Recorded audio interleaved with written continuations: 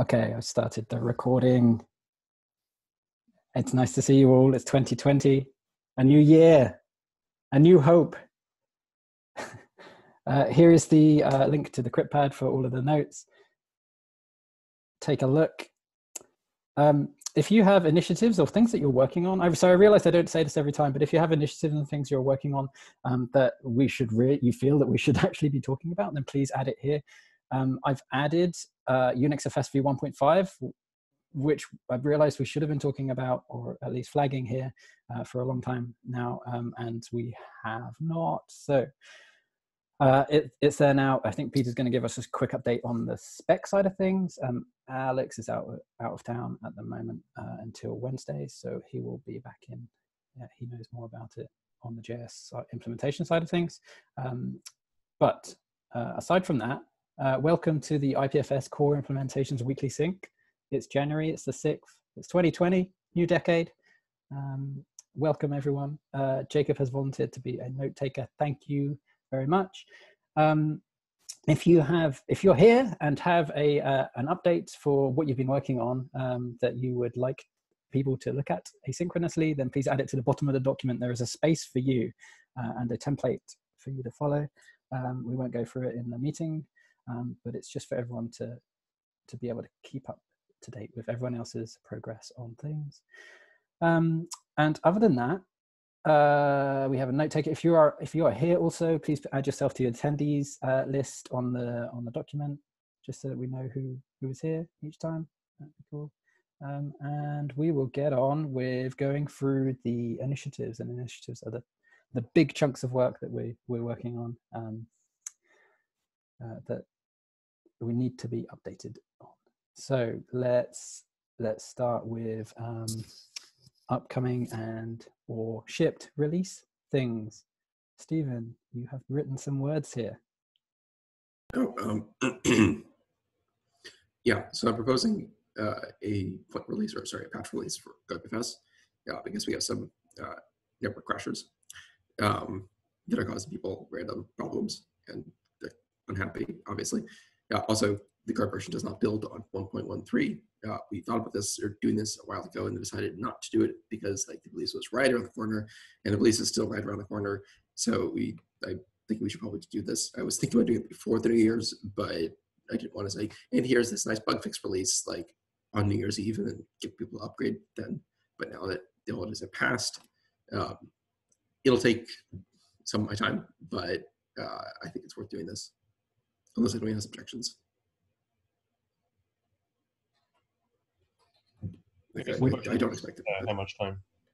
Hmm, um, so a, a, large part will just be like the communication and well, basically the steps we need to do is we need to figure out which patches we want to actually take. So just go through the entire like all the different changes. Actually, well, first of all, like basically generate a full change log if we're doing a release. Go through all of those changes and say, okay, which pieces do we actually want to keep?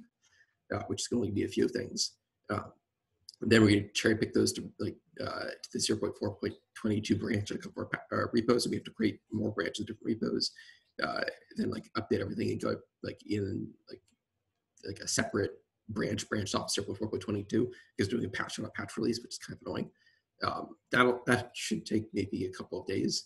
Uh, after that, then communication around like the release processing. Hey, we're doing this release uh, we have to do a short release process, which is like make sure everything is green in C, uh, CI, which is true for 0.4.22, should still be true.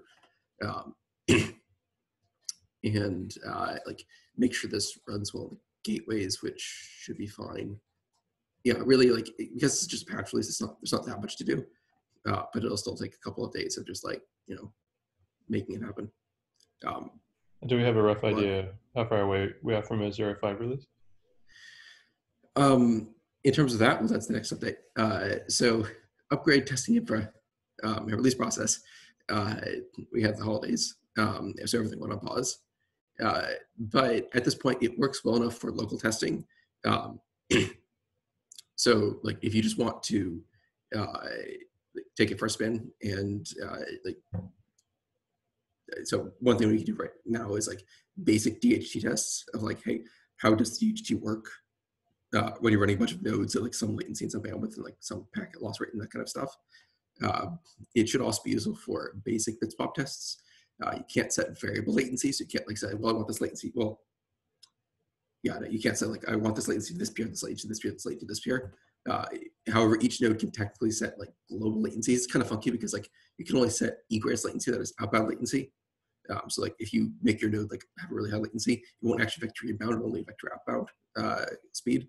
But that's probably fine for uh, at least approximating and like checking to see like if uh, like this well works. Or like if you have some peers that set like really high egress latency and some peers that set a really low egress latency, or especially some peers that set like a really high, like um, uh, low outbound bandwidth, uh, then you can see like, hey, do we prefer peers that uh, like have more bandwidth available, stuff like that. Um, so these are tests you can now run pretty easily. Uh, the main missing features are uh, blocking inbound connections, um, like setting latencies to specific peers, uh, and um, uh, running multiple versions of IPFS and stuff like that at the same time. Uh, at least from like the local testing side of things. From the uh, like the big large scale testing side of things, uh, I'm not sure what the current status is, um, but it's a work in progress. Uh, yeah, Alan. I, I vote that you do release the patch release and yeah. um, I'm I, I'm kind of more interested in why why we just didn't do it uh, before um, and how we can keep the cadence well, going so going forwards instead of yeah. like waiting for this uh, for zero. Yeah. Like so, zero point five has been uh, like in the pipeline for a long time, yeah. and it, I, I, understand that it's been delayed by getting test ground um, sorted. So but I think like the, it would be cool if we could just keep keep the the bug fixes going in the meantime. Uh, yep. So that there's not so this big the thinking is that like we aren't doing feature releases, so every bug fix release requires like taking the specific patches we want to include um, and like putting those in branches and getting it all ready. Um, uh, and the motivation previously was, hey, it doesn't build to 1.13, which was not an insanely big motivation because a lot of people were still using 1.12, and it was still building fine there. Uh, and people could just use the pre-built binaries or like patch things, and it, it was working fine mostly. Uh, the motivation now is this crashing bug, which is a lot more important. So that, that's why that's what's changed. Uh, like we have other bugs, but there weren't like critical things would actually trigger a patch release. Basically, a patch release usually happens. we want a patch release to happen when like you have something actually an issue and people actually upgrade now, uh, where you can't just wait for another release because it, it does take time. A quick question about the panic due to WebSocket issues. We saw that hitting the gateways, like it just sort of spiked one day, uh, but yep. there hadn't been any Go IPFS releases I'm wondering, no. did anyone get any more information on what no. changed? No. Uh, this is actually really annoying. We have no idea what was causing it. Uh. We found exactly where the bug is, or sorry, we found where the bug was being triggered. Um, we have a patch now that appears to fix the bug because we just take a bunch of locks. We still don't know why we have to take those locks. It doesn't make any sense. Um, we've spent a long time debugging it and trying to figure out like how like what's actually happening here. Why are these things like running at the same time when they shouldn't. Uh, basically, the code looked looked totally fine. It looked kind of funky, but totally fine. So we just took locks and like yeah, dealt with it. Um, yeah, so like the, the, number of like crashes now is much lower. Uh, we're only getting a few people reporting them. For a while, it was like really really high. Um, I don't know what someone was testing, um, uh, but it seemed like someone was testing some kind of version of IPFS, and they didn't come to us like, "Hey, we're noticing a crash," or like, uh, yeah. So we don't know. Yeah, the gateway since we deployed the patch have barely we've had like one occurrence every three weeks or so now. Yeah, so well, uh, there were two. But which patch was that you deployed? Oh, you deployed a new version of libp2p. I see. Okay. Yeah. But that means the bug's still there somewhere. Uh, the bug is still there, but it's very much attenuated. Uh, in the gateways, in like more, most people's nodes are still running 0.4.22, and we have not been getting as many complaints, but people are still saying, yeah, crashes every few days, which is not not good. Now this is on like high loaded nodes. If you have like a like my personal node, just well, I could find I'm running the latest master, um, but it wasn't crashing very often when it wasn't. So I think get the patch uh, out the so door yeah. and and yeah, just continue. deal with the problem. Yeah. Cool. Okay. Um, Okay. In which case, uh, the only news I have on JS IPFS is that last year um, we didn't manage to get out a, a pre-release, um, but the the work that um, I wanted to get done has been done. It is literally just a case of going through the tests now and um, fixing them up. And I had very little time over the holidays to actually do that. So um, so that kind of paused. Uh, and I picked it up today, and there is just a set of tests that need to be done now, and then then it's it's done, and we can uh, release a pre-release. So I wanted to finish that off tomorrow, um, and hopefully a, a pre-release can go out the door. So that's that. Um, okay, uh, let's move on uh, to upgrade the testing and inference process. We covered a little bit uh, about this already. Um, I don't know who's typing right now, but uh, would they like to give another update?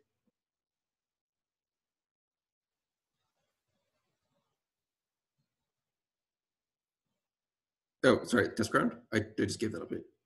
Okay, cool. In which case, uh, we'll move on to uh, the subdomain gateway. And Lidel, would you like to give an update on this one? Yep, uh, there's a PR in Go IPFS um, repo when uh, Stephen started working on uh, adding subdomain gateway support, like native support out of the box to Go IPFS. And we sort of like uh, try to figure it out the more, the most flexible, the most useful way to represent gateway configuration uh, in like Go IPFS config.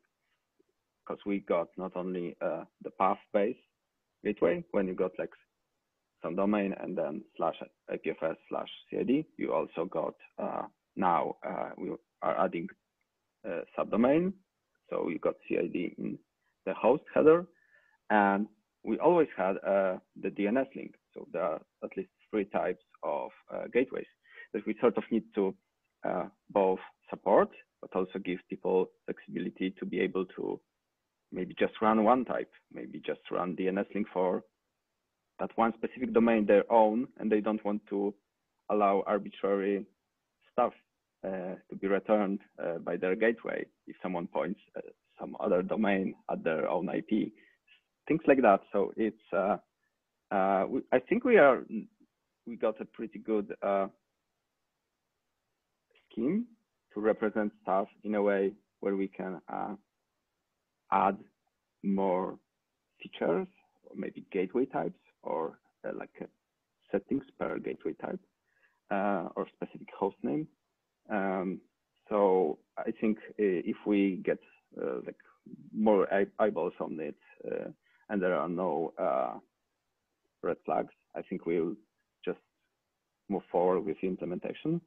Um, I think I'll probably uh, take this over from Stephen uh, and uh, do Go and then uh, probably do the same thing in JS to like sure we got the same uh, both config and implementation both. Yes, Stephen. Uh, in case you didn't notice, I gave you a thumbs up on the on the yeah, PR. It looks good. Implement it. Yeah, yeah. I just uh, I've added it to, to like design review section here, just to like Okay. if someone is like interested or had uh, in the past uh, a specific need around like con configuring subdomain features somehow. Uh, I think this Yeah, this is re relevant, but yeah, unless there's like uh, any re red flag, I'll probably uh, get to this after my backlog uh, uh, thins a little bit. Yeah, that's it.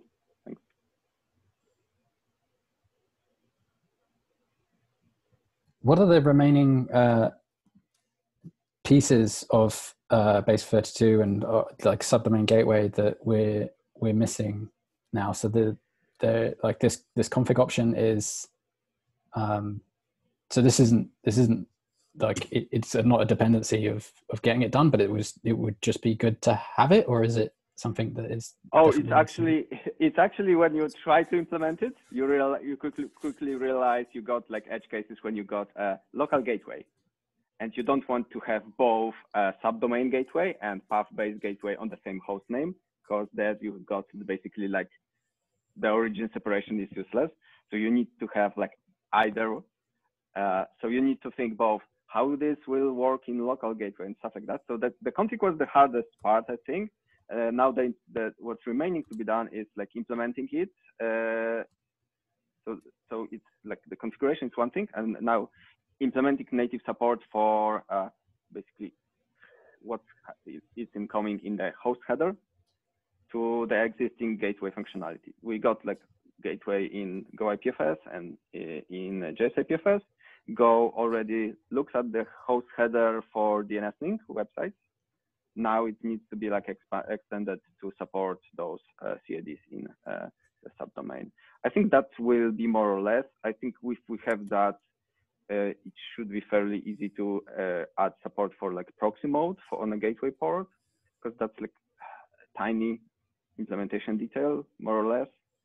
Um, and that's, but, but the most important part is uh, like having support on the local gateway. And that will unlock a lot of stuff like on the operating systems, which support sub localhost subdomains, we we could like enable redirects to more secure uh, host names on localhost. Um, so this is like a blocking all all the remaining stuff, and it's uh, not uh, it's sort of like not forcing us to switch to CIDV1 as a default.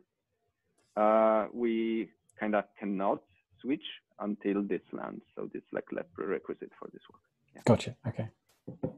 All right, cool. Uh, any quick questions for Lidel before we move on? All right, okay. Uh, so next up is distributed signaling. Yeah, that'll be uh, on hold, but as soon as we wrap up the async await refactor, uh, I'll get back on this. Great. Um, uh, and is uh, Aiden or Hugo here? They are not to give an update on Oh, here we go. Nothing new planned. Okay, right, great. Um, so adding performance. Does someone want to update us on this? I don't think we have either. Sure. Um, oh, uh, well, I'll give the Go one versus there. Um, uh, we've merged asynchronous writes uh, with Badger. Uh, so being able to Badger data store, it's you know, like twice as fast, even on SSD. Um, so it's quite nice. Um, I have not done manifesting on a hard drive, but I expect it to seem faster because they have higher latency. Um, actually, I have another update that's somewhat well, not related to this. It's related to CIDV1. Uh, Go has switched to providing multi-hashes instead of CIDs now. Uh, and the DHT has switched to accepting arbitrary byte strings uh, as provider keys instead of trying to validate them. Um, uh, this means that if you were announcing CIDV1s and now trying, trying to find CIDV0s, there could be some issues there, but this is pretty uncommon because most people are still using CIDV0. Uh, CIDV0 will still continue working as expected. Yes, Peter. Uh, what is the forward compatibility path for older clients that look at the DHT and get a whole bunch of stuff that doesn't validate? Uh, so they will get stuff that validates because um, multi-hashes are valid CIDV zeros. Okay, so we so we basically remove the validation preemptively. The stuff that we still put on yeah. DHT fully validates for now. Yeah, yeah, yeah. So we, we've yeah, we preemptively removed validation. Um, we aren't actually using that. The only thing we're putting now are CIDV zeros, which still valid, or sorry, multi hashes, which are CIDV zeros, which still validate. We just removed it because like there was actually no reason for it. The only thing we really need to validate was like it's not too long, which we weren't validating.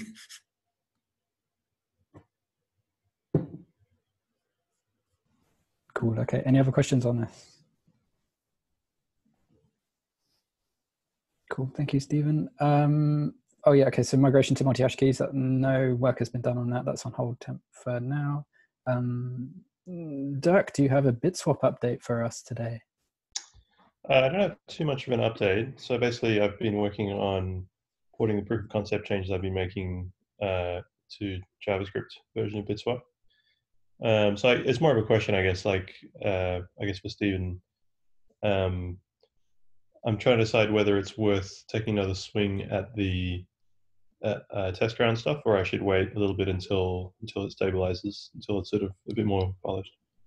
I think it should be ready for testing uh, BitSwap, especially around like setting uh, latencies and bandwidths and like seeing what happens there. Um, it's not going to be ready for testing multiple versions of BitSwap uh, but it should give you a, a, decent like like so making a test plan it like spins up a set of actually you already have, already have a test plan uh, but like improving that especially like set latencies and like see what happens like does it pick the right nodes i think is worth it. Uh, it's going to be again a bit funky because um, like uh, you could you can only set egress latencies. So unless you like if i have some node and i set like really high egress latencies and uh, like other nodes set low egress latencies and they're not symmetric then like like it'll take me a long time to send to you, but it'll take you less time to send it to me.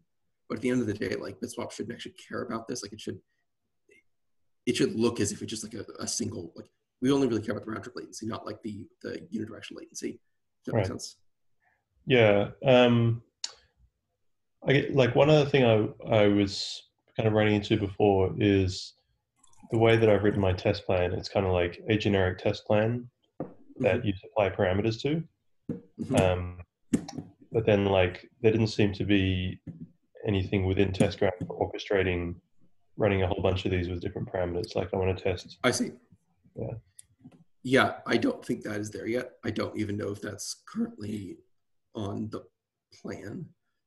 Um, it's obviously necessary, but uh,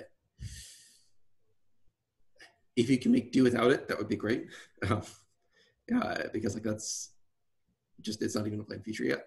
Um, if you can't, uh, then could you come to the testground meeting and bring this up? Uh, yeah. Okay. That's feature request. That, that makes sense. Okay. Thank you.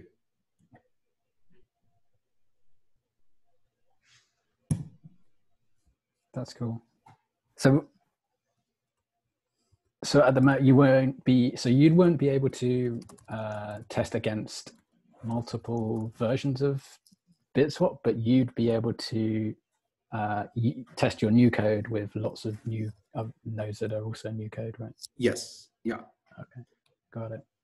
Um, and then for like the for test plans, can you just create lots of test plans and then just import your original one and give it parameters, like create test plans with hard coded parameters if you can't do the parameterizing? So the, uh, the problem is like you need to spin up the test cluster from outside and tear it down spin up again, tear it down. In theory, you could do this within a single test for like you can have a test with a bunch of stages and like everyone like syncs around one stage and syncs around the next stage and syncs around the next stage. Um, so like you, you could actually that's one way of doing this, like where you could set a set of parameters, which is like test this through this, this through this, this, this, and like cross them. And that would be the settings. And then in the actual test case, you'd have a for loop.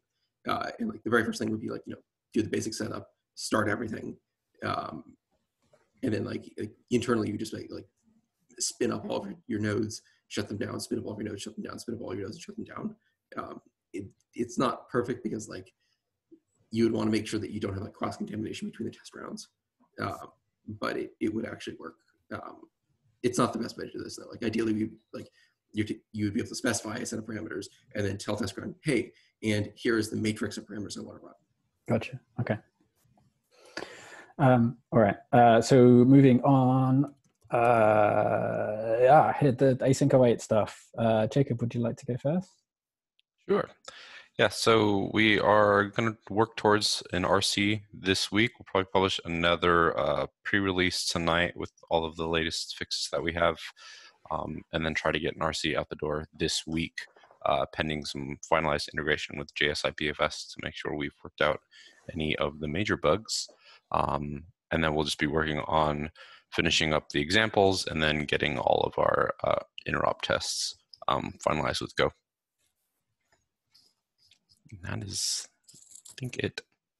Nice. Uh, cool. Um, yeah, things are looking good so far. I'm so in JSIPFS that I'm currently just chugging through the test. Like I said before, I've, I've done I've basically done all of the work that I wanted to do on it, and it's just getting test passing, and I'm finding um, bits that I need to change or bits that I didn't change that I should have changed and, and stuff like that. So um, the majority of them are now passing, and I'm hoping to finish the tests uh, tomorrow um, because there's not that many more to to get done. Um, and so yeah, there's there's the core interface tests are passing, the CLI tests are passing, the HTTP API tests are passing, um, uh, and the I say there's some other other core tests that need to be sorted, um, and the the Swarm API tests for all of those things are are currently being skipped, and that's um, partly due to some issues with the new libp2p, but it's part of the going to be part of the integration that needs to get resolved. Um, but I'm sure it, it, it, should be pretty easy to, to sort out. Um, so yeah, we are approaching the end of that, uh, which is great. Um, all right, uh, and so if no one has any questions on that, then it is uh, the UnixFS version 1.5. Uh, what is going on with that?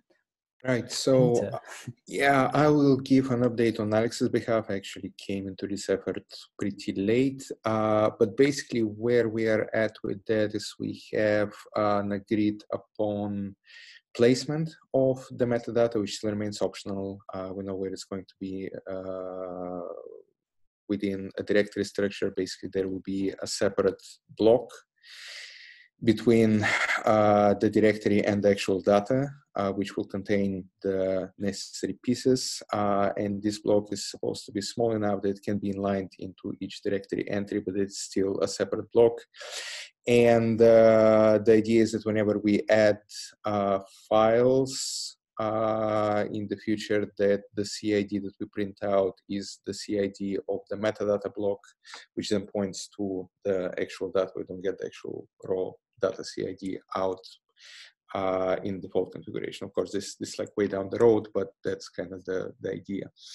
Uh, the actual metadata that we're storing right now, we're concentrating on M time and uh, permission bits slash uh, pretty much the rest of the stat structure.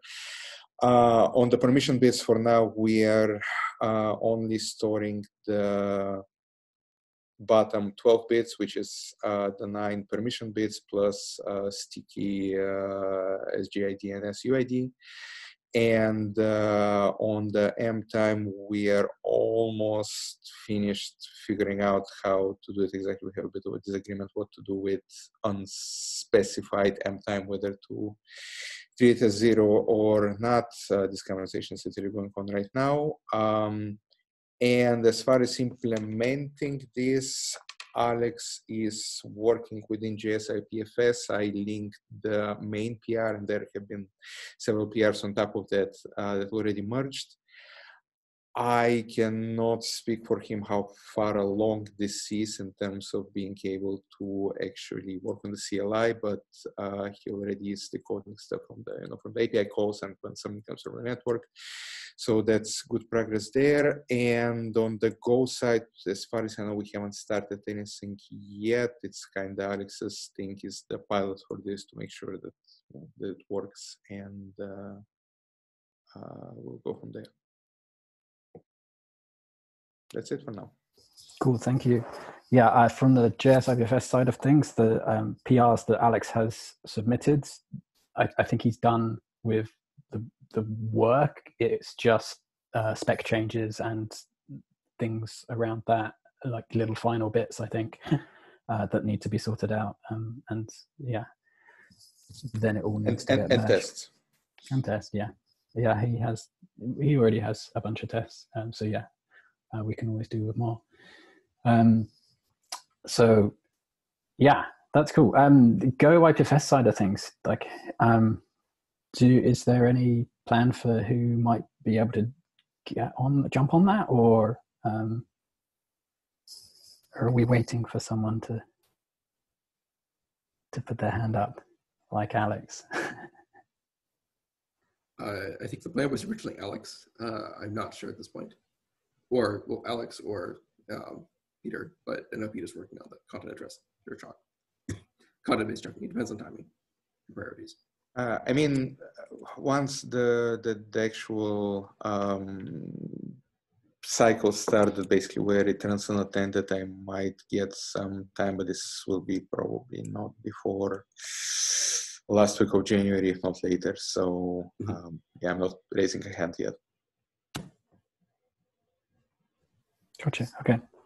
It is nice to have a spec finalized and, uh, well, nearly finalized and a pilot implementation in the in the pipeline. Uh, anyway, Okay, cool. Um, in which case, we have finished the uh, bit about um, initiatives. I'm sorry, we are running over time at the moment. Um, what's up next? Uh, design review proposals.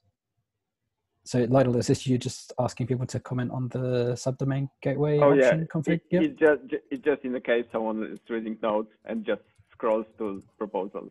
So it's the same thing. Gotcha. Okay. Uh, any blockers or asks this week?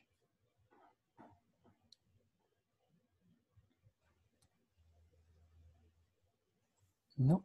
Uh, any other questions that you want to ask or anything for the parking lot? Uh, I have a random comment. Um, sure. I don't think I brought this up here yet. Go IPFS has passing tests. They're all passing. It's actually green. It's nice. Um, I just thought I'd bring it up. Oh, also, uh, for the design proposal, please put your name down if you're interested. Uh, if there's no one actually interested, then we'll just go with we have for the proposal. I will add my name. Okay. Um, perfect. Uh, all right then. Um, in which case, we've reached the end of the document. Um, at the end, uh, so Jacob will submit a PR to team management uh, repo on IPFS, uh, and you can uh, look at the notes from the meeting there. Thank you very much for coming, everyone, and um, I'll see you next time. I guess. Bye. oh, sorry. Bye.